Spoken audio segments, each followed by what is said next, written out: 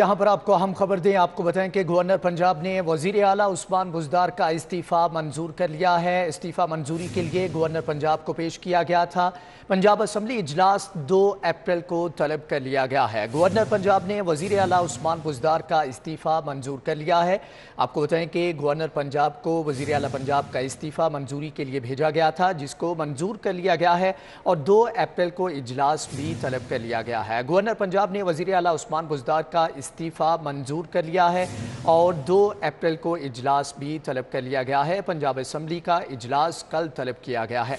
आपको बताएँ कि गवर्नर पंजाब ने वज़ीर अला उस्मान बुजदार का इस्तीफ़ा मंजूर कर लिया है। मंजूरी के लिए इस्तीफ़ा गवर्नर पंजाब को भिजवाया गया था, जो कि बिलाखर उनकी जानब से मंजूर कर लिया गया है। पंजाब असम्बली का इजलास कल तलब कर लिया गया है। गवर्नर पंजाब ने वज़ीर अला उस्मान बुजदार का इस्तीफ़ा मंजूर कर लिया है।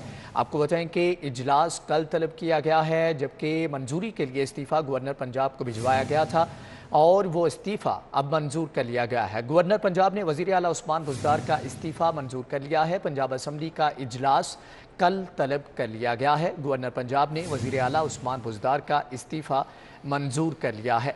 आपको बताएँ कि गवर्नर पंजाब को मंजूरी के लिए वज़ीर अला पंजाब सरदार उस्मान बुजदार का इस्तीफ़ा भिजवाया गया था, जो कि गवर्नर पंजाब चौधरी मोहम्मद सरवर की जानब से मंजूर कर लिया गया है। Amen.